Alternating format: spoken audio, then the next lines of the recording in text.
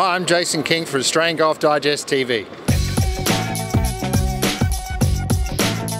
We're with Grant from Puma and we're talking about the new Power Adapt range of shoe and the Ignite technology. Grant, take us through the new design features of the new shoe for 2018. Yeah, absolutely. This is our brand new Ignite Power Adapt. Uh, it's launching February 1st and it's our first tour shoe with Ignite foam throughout the entire midsole. So that's a game changer for us. It's been on some spikeless product in the past and this brings extreme comfort to the cleated game.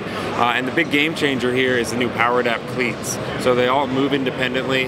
They act like little shock absorbers on your sole. So you're truly getting really the comfort of a spikeless shoe with the performance of a cleated shoe. Right, looks super light. Obviously, we're going to see Rickie Fowler probably playing the high top version later in the season on the PGA Tour. Would that be right? Yeah, that there will be. There, this is the mid cut. There is another uh, high top version coming later on, which we're really excited about.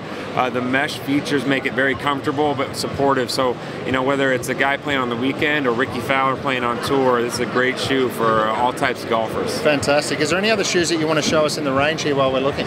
Yeah, I mean this is our lead, uh, our lead shoe, the Power Adapt, but then it we take us on to the uh, Power Sport as well, which is another great shoe.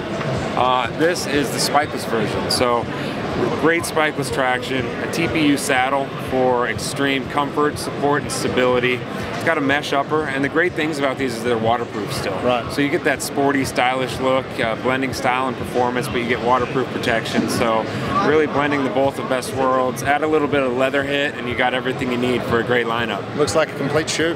Yeah, absolutely. Thanks for joining us on Golf Digest TV. Yeah. Cheers, Grant.